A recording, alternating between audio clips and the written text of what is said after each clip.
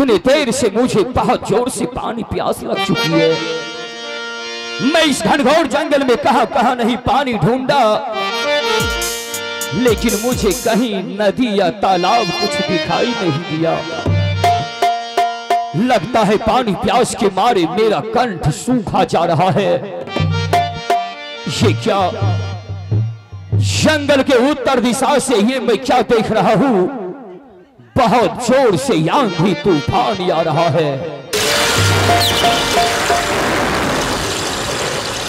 भगवान, मैं इस जंगल को छोड़ करके कहा जाऊँ? लगता है इस आंधी तूफ़ान में मेरा प्राण निकल जाएगा। पानी! पानी!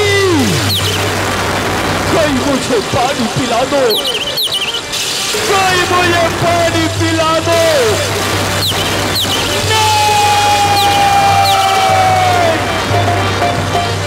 पानी पानी।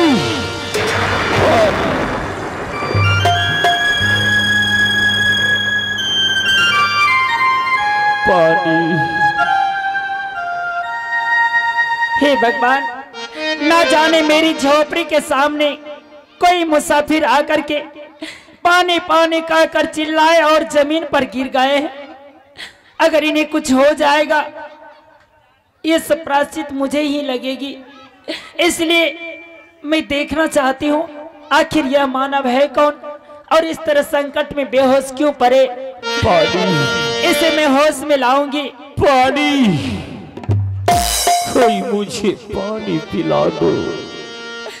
भगवान, हे ईश्वर, यह तो मेरे देवता पति परमेश्वर है। ना जाने कितने दिनों के बाद आज मेरी झोपड़ी पर बेहोश आ गए। इस तरह बेहोश हो गए, ना जाने कभी हकीकत दर्शन तो नहीं दिए। आज इस हाल में एक अभागन को दर्शन दे रहे सबसे पहले स्वामी के कदमों में मैं एक बार प्रणाम करना चाहती हूँ। आहे तो सुना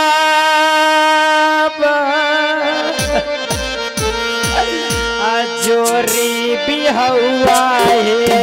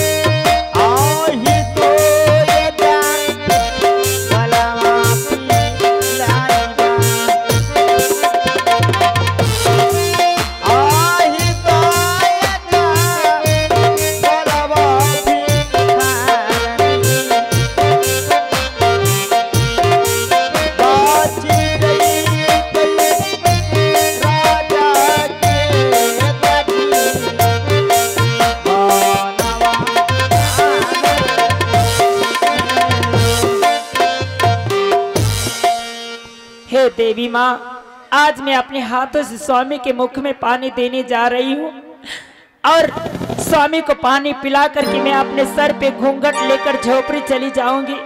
अगर कहीं होश में आए, अगर मुझे पता पूछेंगे, मैं अपना परिचय नहीं बताऊँगी स्वामी को। अब मैं स्वामी को पानी पिला देती हूँ।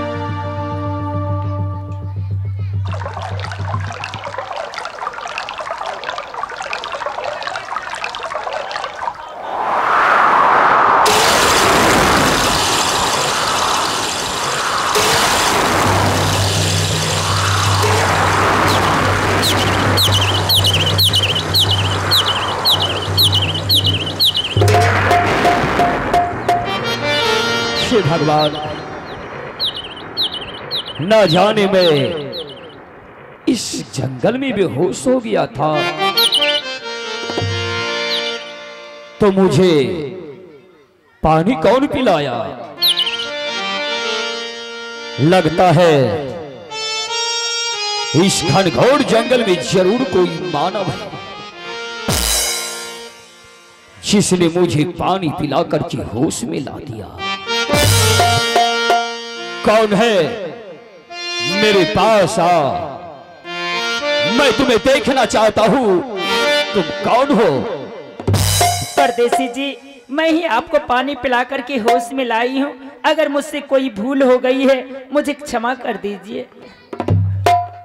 लेकिन एक औरत होकर के तू यहाँ घनघोर जंगल में क्या कर रही है?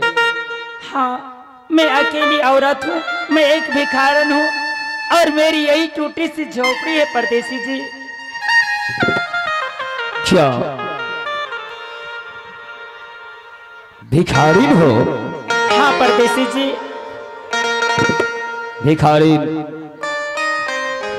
न जाने आज इस घनघोर जंगल में तू मुझे पानी पिला करके मेरे ऊपर बहुत बड़ा उपकार किया।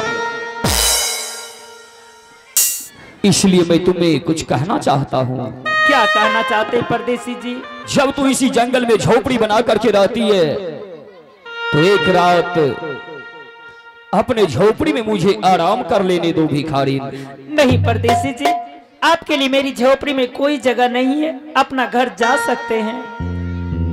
भिखारी सुबह का चला हुआ अब शाम हो गया है मुझे। मैं रात के अंधेरे में अपना घर नहीं जा सकूँगा। इसलिए मेरा कहना मानो और एक रात अपनी झोपड़ी में आराम कर लेने दो। परदेसी जी अगर ऐसा है तो चलिए आज की रात्रि मेरी झोपड़ी में विश्राम कर लीजिए और सुबह होते अपने महल के लिए यात्रा कीजिएगा। क्यों नहीं भिखारी आज इस घनघोर जंगल में बेहोशी की हालत में तू मुझे पानी पिलाई।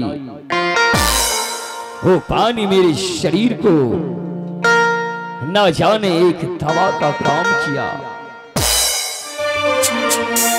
हम्म, चलो भिखारी। अब दवा की ज़रूरत नहीं।